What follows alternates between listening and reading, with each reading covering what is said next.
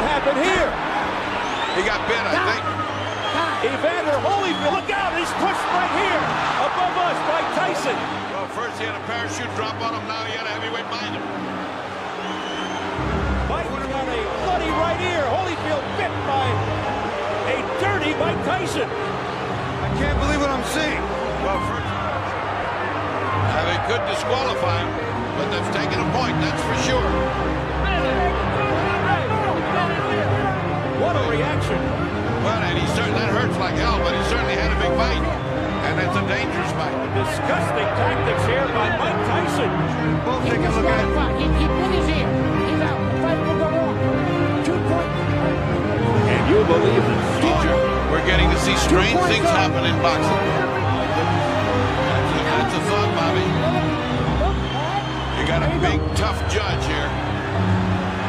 Major mercy here in round three. A very angry Evander Holyfield now.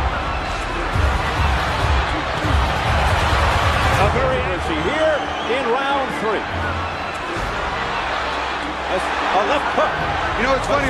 Mike was having his best He bit him again. He He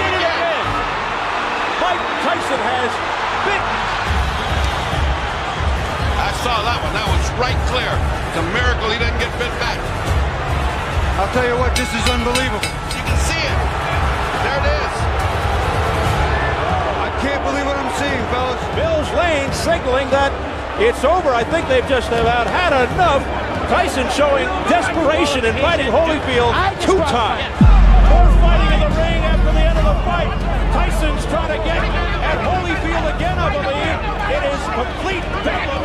Security trying to hold Tyson back. This is the most unbelievable spectacle I have ever seen. Tyson's bodyguard fighting with the security. The crowd in stunned disbelief here. Watch Mike come inside. This is the second bite of the round. Right on Evander's ear. Uh, it's like dra-